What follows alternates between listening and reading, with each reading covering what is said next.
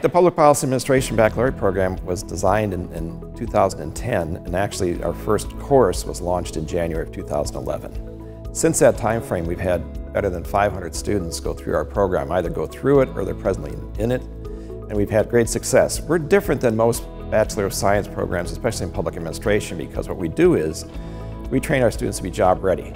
We're more about practical applications and a lot less about theory. Our students have found employment in public agencies, in state agencies. They've also found employment as public information officers or government relations officers in the nonprofit sector.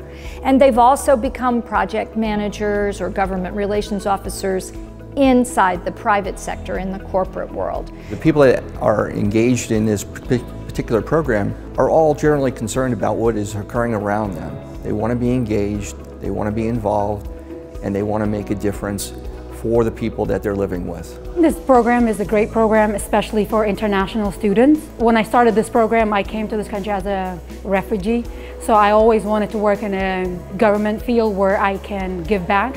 When you actually help somebody to where they, uh, they get a development plan to where they can build their dream home, or they no longer sitting in traffic and they get home to, you know, to be with their family or uh, other things that we get involved in. Social services is a big area. You actually do get a real satisfaction because then you see a direct impact on people, you know, and you touch people's lives. Our public policy program is designed to prepare students to work in state, local, national government.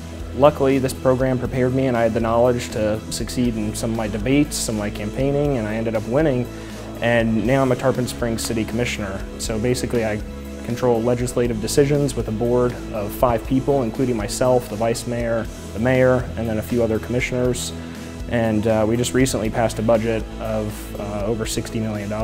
This degree is not built on an Associate in Science degree, but what it does do is it takes people who have Associate of Arts degrees and builds a practical, business-ready education.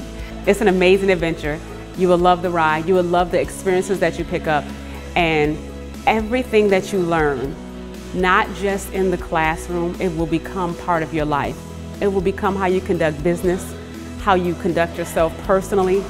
It grows who you are it shapes you, whether you look to be changed, and even as an older student, because I'm 45 years old, so going back to school, it still shaped me, and I was still in a position to grow and to become a better version of myself. It's the best experience that ever happened to me, and I think if anybody else that's looking for that, to become a better version of themselves, SPC is where it's at.